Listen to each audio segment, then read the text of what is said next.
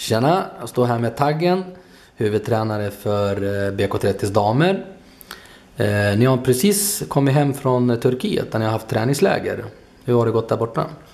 Mm, ja, nej, men det, det var trevligt. Vårt fokus på det lägret var ju att sammansvetsa gruppen inför serie, seriestarten här. Och, det lyckades vi bra med och fick även med oss två stycken segrar i, i träningsmatcherna där. Så att, det är råg i ryggen inför seriepremiären. Mm. Eh, seriepremiär nu då på lördag. Eh, hur känns det? Spännande.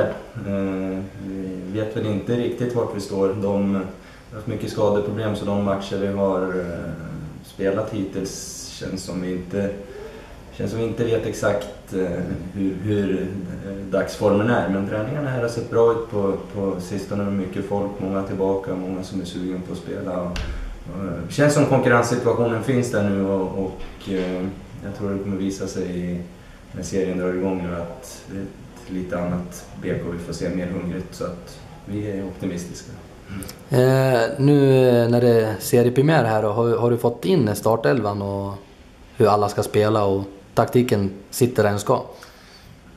Taktiken hoppas jag sitter. Vi håller på att finslipa det sista nu och ska köra idag och imorgon. Eh, vi, vi är helt klart överens om, om hur vi ska spela. Vi jobbar mycket med det nere i Turkiet och eh, startelvan är däremot inte helt, helt spikad. Det finns, finns vissa orosmoment med, med, spelare som vi inte vet om de kommer att vara tillbaka efter skador.